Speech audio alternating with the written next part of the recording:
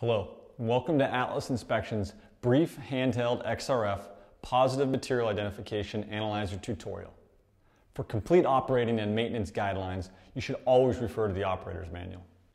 These instruments use X-ray fluorescence to allow users to identify the elemental makeup of alloys and numerous other materials, to determine heavy metal content in soils, to look for lead in toys and other kids' products, and numerous other applications.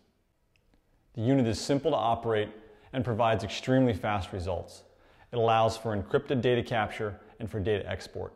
However, it is absolutely imperative that the unit be operated safely to avoid exposure to X-rays. These analyzers contain an X-ray tube which emits radiation only when the user turns the X-ray tube on.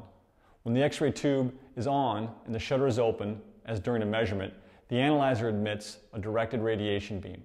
Reasonable effort should be made to maintain exposure to radiation as far below dose limits as is practical. This is known as the ALARA principle, where ALARA stands for as low as reasonably achievable. For any given source of radiation, three factors will help minimize your radiation exposure time, distance, and shielding. First, we'll talk about time. The longer you are exposed to a source of radiation, the longer the radiation is able to interact with your body and the greater the dose you receive. The dose increases in direct proportion to the length of the exposure. Distance. The closer you are to a source of radiation, the more radiation strikes you.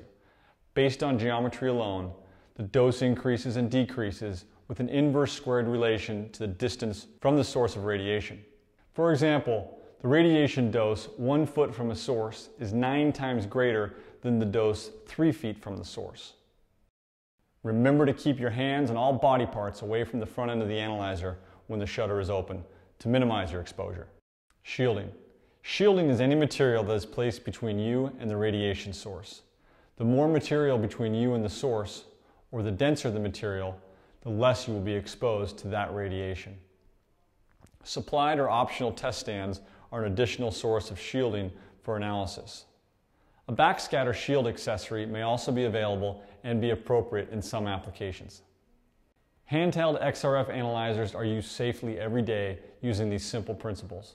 But please don't hesitate to call Atlas Inspection at 800 281 0650 or email us at info at atlas-inspection.com with any safety or application questions or simply for more information.